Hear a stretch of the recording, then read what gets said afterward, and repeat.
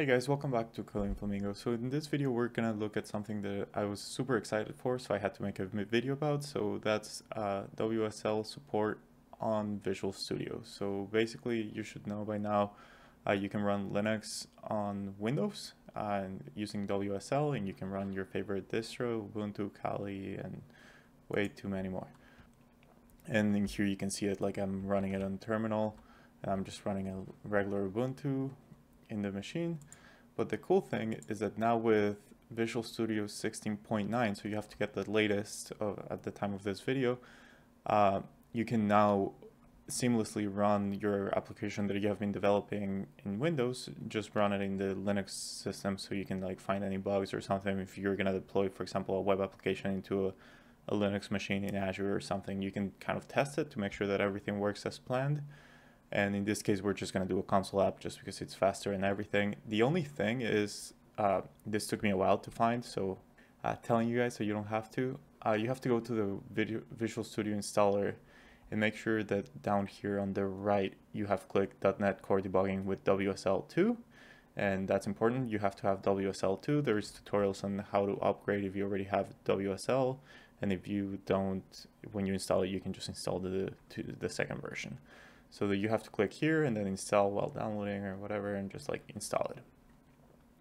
So with that being said, once you do all that, you'll have two options. So this one is kind of confusing because I called the project WSL demo and then the other option is called WSL.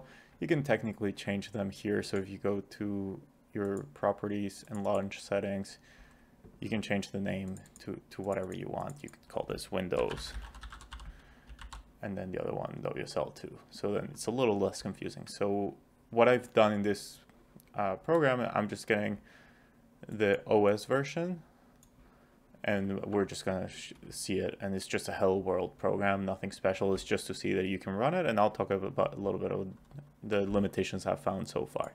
So first we're gonna run it in Windows and we're gonna debug it. And if we see here Microsoft Windows OS and cool that works so now we're gonna switch this to WSL and we're gonna run it.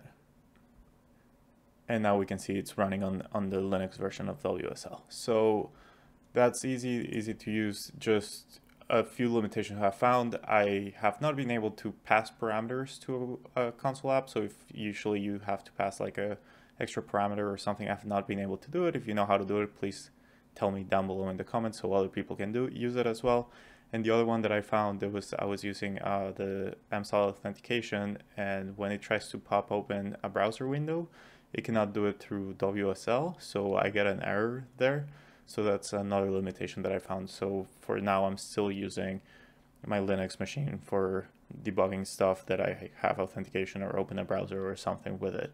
But other than that, it's a great tool to use and hope you enjoyed the video and I'll see you in the next one.